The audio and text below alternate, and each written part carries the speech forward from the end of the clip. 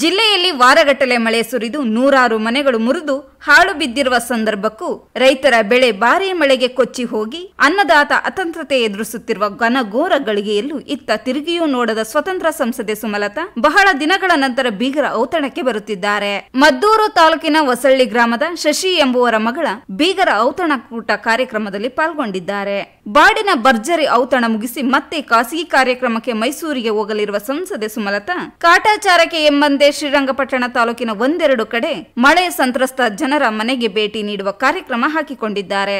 ಇಷ್ಟೆಲ್ಲದರ ನಡುವೆ ಮಂಡ್ಯದ silver Ghibli ಪಾರ್ಕ್ನಲ್ಲಿ ಸೆರಗೊಡ್ಡಿ ಮತ ಬೇಡಿದ ಸುಮಲತಾ, ಸತತ ಮಳೆಯಿಂದ ಕೆರೆಯಾಗಿ ಹೋಗಿರುವ ಮಂಡ್ಯದ ಬೀಡಿ ಕಾರ್ಮಿಕರ ಕಾಲೋನಿಗಾಗಲಿ ಮತ್ತು ಮನೆಗಳೇ ಹುರುಳಿ ಹೋಗಿರುವ ಹಾಲಳ್ಳಿ ಸ್ಲಂಗಳಿಗಾಗಲಿ ಸಂಸದೆ ಸುಮಲತಾ ಭೇಟಿ ಕೊಟ್ಟು ಜನರ ಸಂಕಷ್ಟ ಕೇಳುವ ಯಾವುದೇ ಕಾರ್ಯಕ್ರಮಗಳು ಇಲ್ಲ. ಅವಾಗ ಕೊಡ್ತೀನಿ, ಇವಾಗ ಕೊಡ್ತೀನಿ. ಅವಾಗ ಇವಾಗ ಮೀಟಿಂಗ್ ಮಾಡ್ತಾರಲ್ಲ, ಇವಾಗ ಏನ್ ಮಾಡ್ಬಾ ನಾವು? ಇವಾಗ ಬೆಚ್ಚಗ್ ಮನ್ಗೋರೆ ಮಾಡೋರೆ. ಇವಾಗ ಏನ್ ಮಾಡೋದ ಮನೇಲಿ? ಇವಾಗ ನಮ್ ಬಾಳ್ ನೋಡಿ ನಾಯ್ಕಿಂತ ಬಾಳಲ್ಲ, ನಮ್ ಬಾಳು, ನಮ್ದೊಂದ್ ಬಾಳ. ಇರೋದು ಒಂದೇ, ನಾವು ಸಾಯ್ದು ಒಂದ್ ನಿಶಾ ತಂದು ಕೊಟ್ಬಿಡಿ.